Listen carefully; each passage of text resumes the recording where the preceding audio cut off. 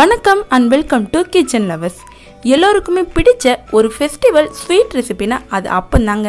இன்றைக்கி நம்ம கிச்சன்லேயும் கோதுமை மாவை வச்சு ஒரு டேஸ்டியான ஹெல்த்தியான அப்பம் எப்படி செய்யறதுதாங்க பார்க்க போகிறோம் வீட்டில் இருக்க சிம்பிளான பொருட்கள் வச்சு இந்த அப்பத்தை ரொம்ப ஈஸியாக செஞ்சிடலாம். இதை எப்படி செய்கிறதுன்னு பார்க்குறதுக்கு முன்னாடி நீங்கள் இன்னும் நம்ம சேனலை சப்ஸ்கிரைப் பண்ணலைன்னா கண்டிப்பாக சப்ஸ்கிரைப் பண்ணிக்கோங்க. நீங்கள் பண்ணுற ஒவ்வொரு சப்ஸ்கிரிப்ஷனும் எனக்கு ஒரு மோட்டிவேஷனாக இருக்கும். வாங்க இப்போ ப்ரிப்பரேஷனாக பார்ப்போம். ஒரு மிக்சிங் பவுலில் அரை கப் அளவு ரவை சேர்த்துக்குவோம். நான் இன்னைக்கு சொல்கிற அளவு எல்லாமே ஒரே அளவு கப்பில் தான் எடுத்திருக்கேன். அப்போ தான் வந்து அப்பம் கரெக்டாக வரும். கப்புக்கு பதிலாக நீங்கள் வீட்டில் இருக்க டம்ளர் கூட யூஸ் பண்ணிக்கலாம். ரவை கூடவே அதே கப்பில் அரை கப் அளவு வந்து ஜீனி சேர்த்துக்குவோம். கூடவே ஒரு கப் அளவு தண்ணி சேர்த்து நல்லா கலந்து விட்டுடுவோம்.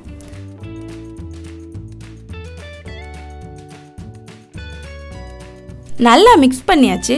ரவை நல்லா தண்ணியை இழுத்து ஊறுறதுக்காக இது அப்படியே ஒரு பத்து நிமிஷத்துக்கு ஒரு மூடியால் மூடி ஊற வச்சு எடுத்துக்குவோம்.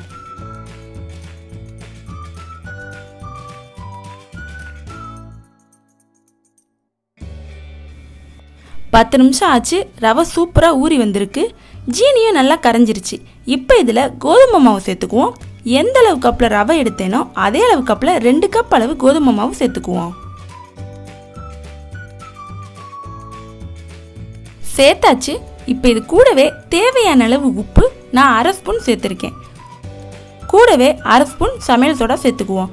சோடா மாவு சேர்த்து செஞ்சால் தான் அப்போ நல்லா உப்பி சாஃப்டாக வரும். அதுக்காக தான் சேர்த்துக்கிறோம். கூடவே ரெண்டு மூணு ஏலக்காயை தட்டி வச்சுருக்கேன். அதையும் சேர்த்து நல்லா மிக்ஸ் பண்ணி விட்டுடுவோம்.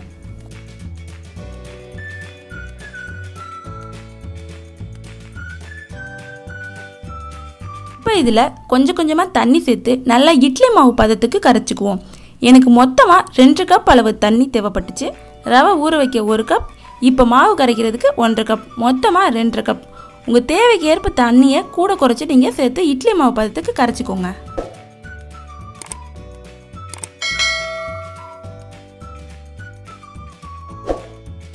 பாருங்க இந்த பதத்தில் இருக்கணும். ஒரு அகலமான அடிப்பக்கம் ஃப்ளாட்டாக இருக்கிற மாதிரி ஒரு பாத்திரத்தை அடுப்பில் வச்சு அதில் பொரிக்க தேவையான அளவு ஆயில் சேர்த்து சூடு பண்ணிக்குவோம். ஆயில் நல்லா சூடாகவும் ரெடி பண்ணி வச்ச மாவை இப்படி ஒரு குழிக்கரண்டில் எடுத்து இப்படி ரவுண்ட் ஷேப்பில் ஊற்றிக்குவோம் இப்போ இது மேலே சூடான எண்ணெயை அள்ளி ஊற்றிக்குவோம் அப்போ தான் அப்போ நல்லா உப்பி வரும். பாருங்கள் எப்படி உப்பெல்லாம் வந்திருக்குன்னு. உப்பி வருவோம் இதை வேக விட்டுட்டு இன்னொரு அப்பத்தை இப்படி பக்கத்துலேயே ஊற்றிக்குவோம் இது மேலேயும் இப்படி சூடான எண்ணெயை ஊற்றி அதே மாதிரி ஃப்ரை பண்ணிக்குவோம்.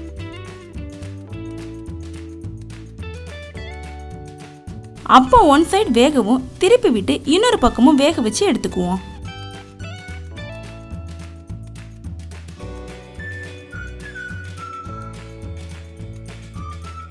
ரெண்டு பக்கமும் நல்லா வெந்து கோல்டன் ப்ரௌன் ஆகி வரவும் எடுத்துடலாம்.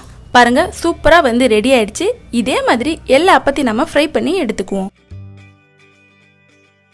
அவ்வளோதாங்க சூப்பரான டேஸ்ட்டில் ஹெல்த்தியான கோதுமை அப்பம் ரெடி இது சூடாக சாப்பிட்டா சூப்பராக இருக்கும். ஈவினிங் டீ டைம் ஸ்நாக்ஸுக்கு இது ஒரு பர்ஃபெக்டான டிஷ் கம்மியான டைம் இருந்தால் போதும். சிம்பிளான பொருட்கள் வச்சு ரொம்ப ஈஸியாக இந்த அப்பத்தை செஞ்சிடலாம். கண்டிப்பாக இதை ட்ரை பண்ணி பார்த்துட்டு எப்படி இருந்துச்சுன்னு கமெண்ட்டில் சொல்லுங்கள் இந்த மாதிரி சூப்பரான வீடியோஸ்லாம் நீங்கள் மிஸ் பண்ணாமல் பார்க்கணுன்னா நம்ம கிச்சன் லவர்ஸ் சேனலை சப்ஸ்கிரைப் பண்ணிவிட்டு அந்த பெல் ஐக்கானே ஆளில் வச்சுக்கோங்க. இந்த வீடியோ உங்களுக்கு பிடிச்சிருந்துச்சுன்னா மறக்காமல் ஒரு லைக்கை கொடுத்துட்டு உங்கள் ஃப்ரெண்ட்ஸ் அண்ட் ஃபேமிலியோட ஷேர் பண்ணுங்கள் இன்னொரு சூப்பரான வீடியோவில் பார்ப்போம். தேங்க்யூ